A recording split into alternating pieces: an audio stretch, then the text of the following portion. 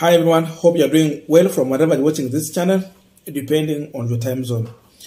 Now, Raila Amolo Odinga finally managed to land in this country from South Africa, and after arriving at JKIA, the convoy made its way to Kamukunji ground. And while at Kamukunji ground, there are several issues Raila Amolo Odinga has pointed out, about six points, and he has explained himself on how the Azimio side should treat William Samoei Ruto and his government. So I just want to quote Amolo Odinga as we continue to analyze the sixth point he talked about. This is what he said. Since August 15th, we have conducted our own investigation of the IEBC and electoral results. We are convinced that our victory was stolen. He continued to say, Dear Kenyans, the presidential results announced by Mr. Chebukati were entirely made up by him and nothing to do with the vote you cast. Wafula Chebukati and the two IEBC commissioners and the CEO formed a cartel and cooked their own results. That's Raila Amolo Odinga. So remember there was the Chebukati 3 and we had the Cherera 4. And this is what he's saying again.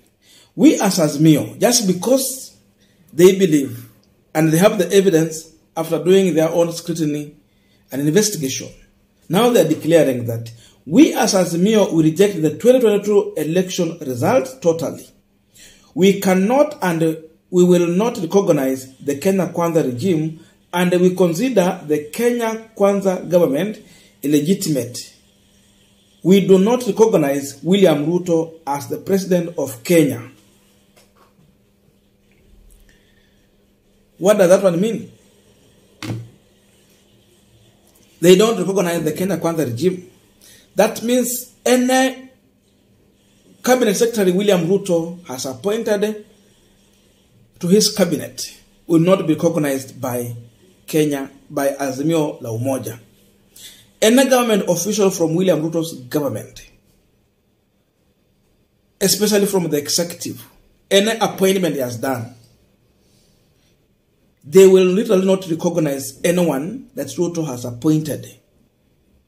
And then he's telling his followers and the people who voted for him, the 8 million, that they don't recognize William Samoei Ruto as the president. That means from now, Azimio supporters or all the people who voted for Raila Odinga will not recognize William Ruto as their president because that is the directive Raila Odinga has given to his supporters. Now, let us check on these points. Eh? Raila Odinga's clarion call. Number one, Azimio reject the 2022 general election. We have talked about that one. So it means it's either the person who won election takes over the government or have another way to get a right person to be in the office and not the person who did not win the election. We do not recognize William Ruto as Kenyan president. Okay, I had said this one.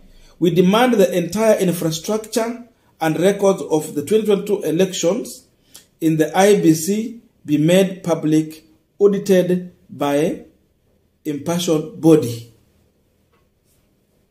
Now, this one is just to prove what they are talking about, such that if there is anyone who is doubting this, then they should go through the server. IEBC now should open the server so that they can confirm what Raila Odinga is talking about. And I said this one yesterday, that the tweet that Martha Karua was making yesterday, it was just a way of laying uh, ground for Raila Amolo Odinga to come and uh, put the foundation of his demand going forward and giving a political direction to his supporters or followers.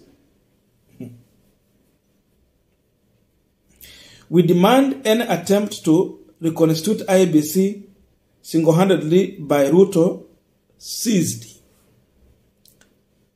Another serious matter.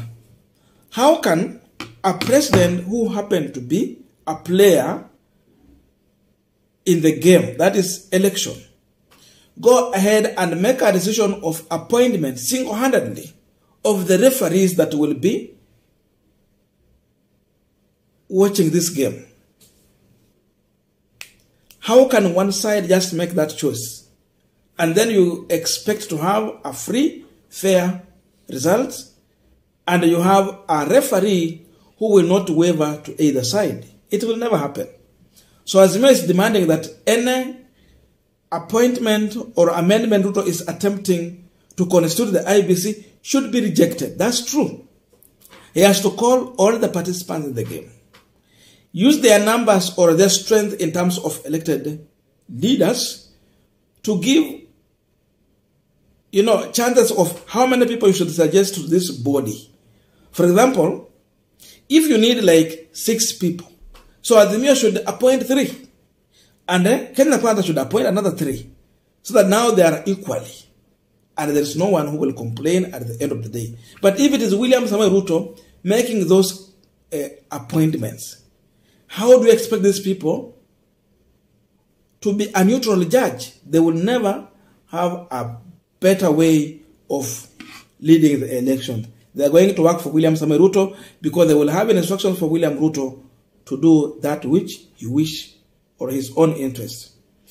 One, two, three, four, five. Okay. Reject the the reject the MP policy made by the UDA regime we call on Kenyans to reject UDA policies. Hey, there are several policies they have made. Of course, the National Assembly has been going on. The issue even to do with the with the matters to do with the changes on taxes, among other things. There are several things. The issue of GMO, among other things. They're saying that they have to reject any process they have done because they don't recognize William Ruto as the president. He has signed some document and they don't recognize him. So for that reason, they should reject. Kenyans should not buy into that. We call on Kenyans to resist and demand removal of punitive taxes. Raila has talked about the issue of Kenya Power, the new tariffs. Everyone has been complaining about the unit they are buying, it's now turning out to be much expensive because Ruto is putting more taxes on that. Raila is even going to an extent of insisting that at one point he's going to ask Kenyans to resist from Kenya power in punitive ways. We continue. We demand the, that Kenya Kwanza government resign. this one is self-explanatory after you have said we don't recognize William Ruto and the regime, the only remaining thing is for them to resign. Number eight, uh, and lastly, we ask our people to say no to the UDA regime, the repetitive. Say no to UDA regime. Another issue here is that Raila has pointed to the issue of taxes. That some of their areas, it means if these orders will not be respected, they will go to an extent of asking the areas where they manage to pull numbers not to pay taxes. Remember, when someone talks about taxes, that is how you suffocate a government. There is no regime can run without having taxes. They need resources to run the government. Resources will always come from the people. So they have called for another meeting. That means in that meeting, in case nothing will happen from now until the Sunday, Sunday something there. Then maybe Raila will have another new way of dealing with this issue, if it will be through maandamano or through resist or whichever means it is upon him to come with it together with other leaders the way they will discuss about it and again listening from the people to understand what people are thinking about and what they are looking for now if you look the rally and the convoy that welcomed Raila Amolo Odinga you can agree with me that this country has problem there is no employment a lot of people are unemployed. So, when Raila Amolo Odinga called for such a meeting, they will all be available for that meeting. You can see how they turn up in their numbers. Like, even if you could have tried to say you want to disperse such crowd, then you will end up causing a big problem. That's why police could not think of doing anything. Again, in this meeting, uh, all the way from JKIA going to Kamukunji ground, you could see the boda boda guys welcoming Raila Amolo Odinga and moving with him.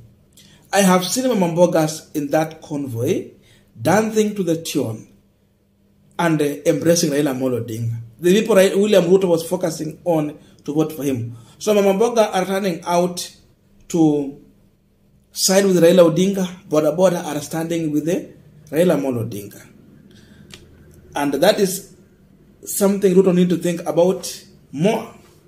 And lastly, as all this were happening, William Samoei Ruto, Rigathi Gachagua, and some of the UDA members were somewhere in uh, Kiambu.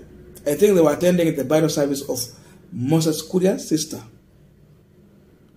But if you listen to the Rigathi Gachagua, Gachagua was not in that meeting. He was sitting there, but he was busy following the proceedings at the Kamukunji ground. A very bitter man. I don't know your views, but let us meet in the comment section for continuation of this conversation.